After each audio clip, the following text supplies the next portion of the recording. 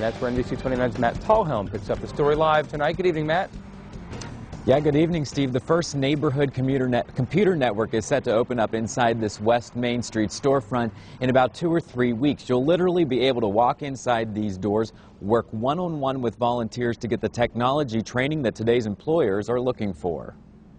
This empty office space becomes a public computer lab. 10 stations that we laid out in this space. The room next door transforms into a classroom for technology training. And we'll have another 8 to 10 computers that will be installed in the training center, A high-speed DSL, and a wireless throughout the center. Nelson County native Janet Ockert Harvey dreamed up the idea of the Waynesboro Area Learning Tree, or WALT, two years ago. She was working for a corporation near Philadelphia. Despite 11 years on the job and two degrees, Ockert Harvey was laid off. I thought, why not go home with my education and give back to my community? The nonprofit WALT will offer free computer training, online learning, and workforce development programs. I can't say that WALT's going to bring them up to a level that they can take a, a job that's going to pay them a lot of money, but it will raise a skill set up and build the awareness of technologies.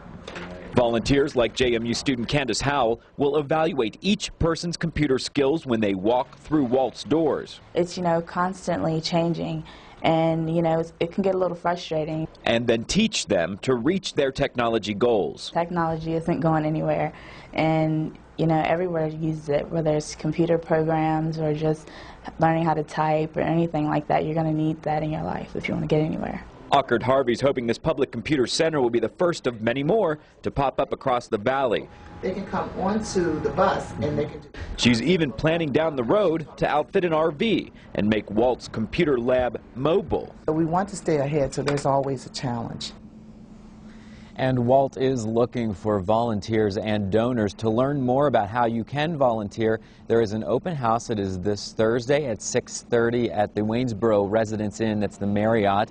There is also more information about volunteering and donating on our website. Click on the news link at NBC29.com. Matt Talhelm live in Waynesboro tonight. Thanks, Matt.